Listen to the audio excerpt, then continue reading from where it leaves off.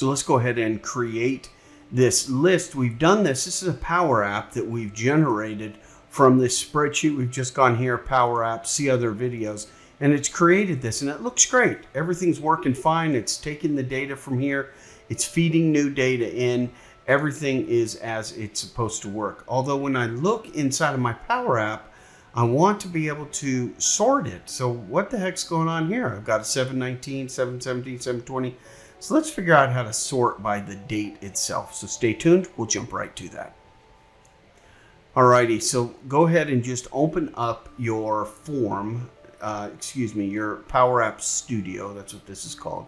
And we're going to go ahead and sort this field right here. So if you click here, notice the box is around the whole area right there. Okay, if you click too tight, it'll just be around one of them. So you want to click to where it's around the whole thing. Now, here is the filter that came by default when I sorted, when I pulled this in from my list. So it went ahead and created this, felt like this was the right thing to do.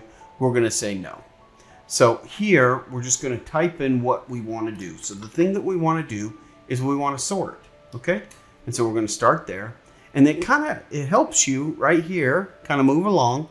Now the table that you want to sort is actually the name of the list, right? So this is the table, what it's calling the table, right? This list here.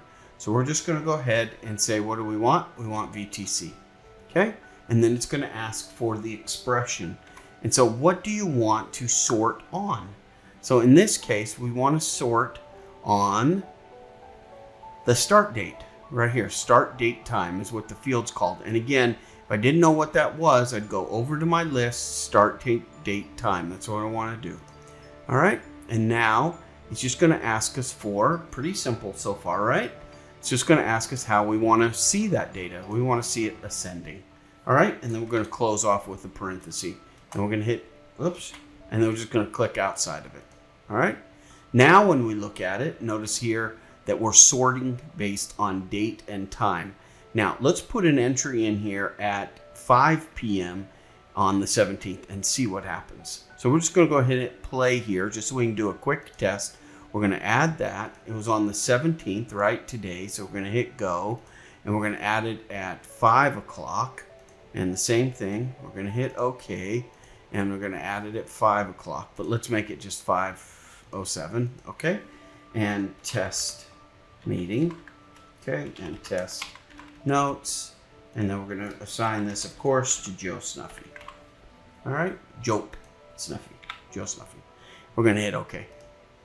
Now, now we see that meeting exactly where it was supposed to line up. Notice here, if we go over here, we can see that test meeting right here.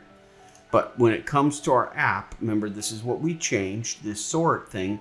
Notice here that it put the 4 o'clock appointment here and the 5 o'clock appointment here. If I want details to that meeting, I can just click on that meeting and it'll take me right in to show me the start time, the stop time, the meeting name, the notes, whether it's in the CC room and who is assigned to it. Very simple. I can access all of this from my phone. Additionally, I can go ahead and type in just specific information that I want and find it. Oh, so the search feature isn't working. So see the next video and we'll go over how to set up the search feature to work within Power Apps.